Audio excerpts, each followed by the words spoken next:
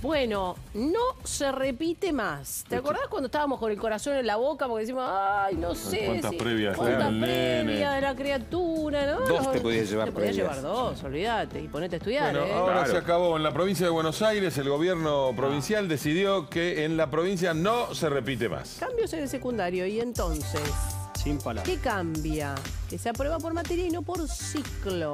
O sea que si vos debes toda la materia de segundo año, Vas a ver. pasás igual a tercero. Entonces no se repite, señores. Y la escuela dará apoyo escolar hasta cuatro materias desaprobadas. Te tienen que dar contención. Claro, esto significa que hay docentes que van a tener que aplicarse a esto, horas cátedra que se tienen que aplicar y vuelven las calificaciones numéricas nuevamente a la, a la provincia de Buenos Aires. Se aprueba con siete y no corre más el promedio. Es prueba por prueba. Bueno, esto es para analizar. Nosotros tenemos una opinión seguramente, ya veo sus caras, no hace falta mucho que me lo cuenten, pero Imagínate Sarmiento cómo está. hablemos con una persona que sabe Sin más que nosotros, que es Laura Lewin, que es especialista en educación. Hola Laura. Hola Luis, ¿cómo estás? Buenas tardes. Hola Sandra. ¿Qué tal? Está, acá está Sandra indignada, Laura. Pero no, lo que ¿qué- pasa es que yo lo que digo decir? es cada vez más blando y, y, viste, como que, no sé. La- la- ¿dónde- es que después la vida no es blanda. Eh, claro, ¿dónde queda la frustración, el esfuerzo, el trabajo por superarse? Sí, ¿y cómo se explica esto? Porque alguna explicación pedagógica debería haber, aunque a mí no se me ocurre ninguna, Laura, perdóname. Bueno, a ver, en el mundo, en el mundo ya están eliminando la repitencia. Lo que pasa es que en Argentina no podés eliminarla ahora, porque Argentina no es el mundo. Claro. Porque en realidad, si bien es verdad que esta medida lo que busca es eliminar el abandono escolar, no corrige el problema de fondo. Y el problema de fondo es que los chicos no están aprendiendo. Exacto. Entonces, esta crisis que tenemos de aprendizaje y de enseñanza no la vas a resolver únicamente con cuestiones de evaluación, de acreditación, de calificación, la tenés que hacer mejorando la calidad educativa.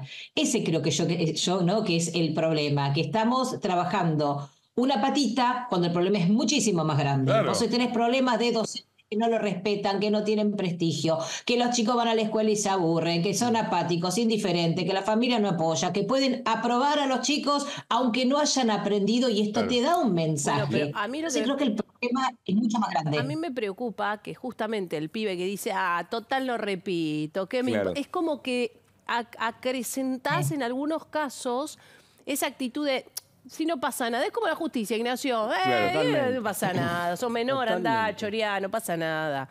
Digo, estas cosas que son cada Yo estoy de acuerdo con vos. Eh, sí, porque en realidad tienen como esta sensación de, bueno, hay una segunda oportunidad, una tercera oportunidad, Claro. y eso hace que vos no estés incentivado a esforzarte y perseverar desde el principio, ¿no? Y además, Y además hay una en, en el Sí. sistema, hoy, los padres, en lugar de estar del lado de los docentes, se ponen en contra de los docentes y tenés agresiones, violencia, cómo no me aprobaste al nene. Y esto todavía agrava más el problema. Por eso digo que es multicausal lo que le pasa a la educación, ¿no? no la- yo creo que hay un documento igual con un montón de propuestas que, que tienen desde el ministerio, pero bueno, la que se está debatiendo hoy es este tema de la repitencia. Yo creo que a veces las cosas funcionan mejor en la cabeza de las personas y no tanto en la práctica. Porque, por ejemplo, una de las cosas que se dicen es que los chicos pueden recursar, si estás haciendo matemática de tercero, bueno, te vas a hacer matemática de segundo con los de segundo. Y la materia de tercero, ¿qué? Claro. ¿La dejas de hacer? Sí, Claro, desastre. habla de lo hacemos a la tarde, no a contraturno, pero el colegio también tiene turno mañana, tarde, a veces este, noche, entonces se te complica lo que es tiempo, espacio, presupuesto, recursos humanos, no me parece tan fácil. Laura, vos hablabas del mundo, que en el mundo se tiende a esto, pero Argentina no está preparada. ¿Qué tiene el resto del mundo para poder implementarlo? Bueno, en principio, en muchísimos otros países se valora más a la educación, se valora al docente, hay un respeto hacia la educación, hacia la institución educativa, las familias apoyan. Acá es todo lo que dicen ustedes, ¿no? Vos vas a un aula y parece más el patio de la escuela en muchas instituciones que realmente un lugar en donde se aprende. Acá tenés docentes que tienen sueldos que son malísimos, que no se los respeta, que se les pide creatividad, que planifiquen de una manera interesante, pero van corriendo de, una, de un colegio al otro porque si no, no llegan a fin de mes. Vos tenés que trabajar mucho los problemas que tenemos de base, me parece Laura. a mí, ¿no? Como para, para resolver un poquito todo esto. Laura, ¿no habrá llegado el momento de recuperar un principio que para mí es básico y que en los últimos años se lo colocó como un principio negativo, que es el mérito. ¿No habrá llegado el momento de poner a reflotar el mérito, el mérito al mejor promedio, el mérito al que no falta en la escuela, el mérito al que es abanderado, el, médico, el mérito al que es sobresaliente en una materia? ¿No habrá llegado el momento de volver a explicar lo que es el mérito, lo que es el esfuerzo?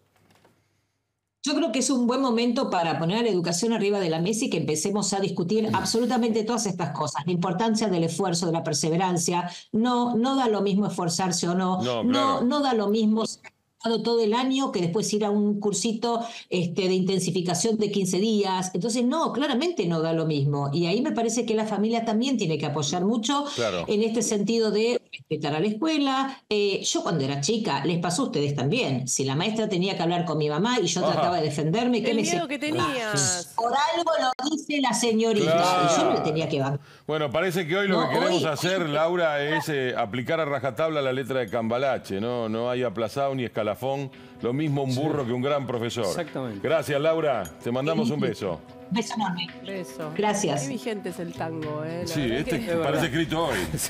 Pero viste que las letras de tango siempre como que buscás, buscás y siempre encontrás una que te, te habla del momento. Es que vigente es la Argentina, la Argentina se recicla. Se perdieron los referentes, Sandra. Hoy Sí. mucha gente se preocupa por tener seguidores en las redes sociales y no por tener Una un título de posgrado en una universidad, por ejemplo. Entonces, cuando la balanza está tan desbalanceada, no podés encontrar a nadie donde si es más importante tener seguidores en las redes sociales que tener un título que a vos te habilite como un profesional de calidad, y ya estamos perdidos. Ni hablar de los dirigentes y referentes sociales y políticos que tenemos. Entonces es así la situación, es concreta. Ahora,